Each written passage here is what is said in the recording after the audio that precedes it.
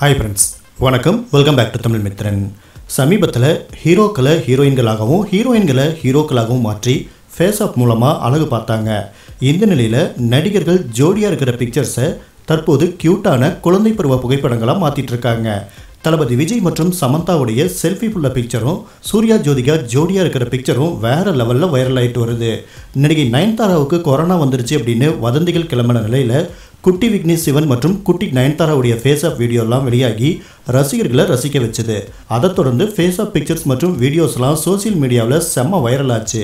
இந்த நிலையில் தற்போது கத்தி படத்தில் வர செல்ஃபி புள்ள சாங்கில் இடம்பெற்ற தளபதி விஜய் மற்றும் சமந்தாவுடைய பிக்சரை ஃபேஸ் ஆப் மூலமாக கியூட்டான குட்டி விஜய் மற்றும் சமந்தாவை மாற்றி ரசிகர்கள் வைரலாக ஷேர் பண்ணிட்டு வராங்க. மேலும் கத்தி படத்தில் இடம்பெற்ற ஏகப்பட்ட காட்சிகளையும் அந்த அப்ளிகேஷன் மூலமாக தளபதி ரசிகர்கள் அழகாக மாத்திட்டு இருக்காங்க. மறுபடியும் இளைய தளபதியையும் குட்டி ஜோதிகா குட்டி சூர்யாவை பார்த்தாச்சு அப்படின்னு ரசிகர்கள் கொண்டாடிட்டு வராங்க.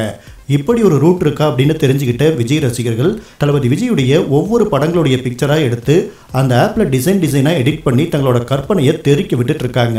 வர அக்டோபர் பதினஞ்சாம் தேதி நாடு முழுசும் தியேட்டர்கள் ஐம்பது சதவீத இருக்கைகளோட திறக்கப்படும் அப்படிங்கிற அறிவிப்பு வெளியான நிலையில் தளபதி ரசிகர்கள் அதை செம்ம உற்சாகமாக கொண்டாடிட்டு வராங்க.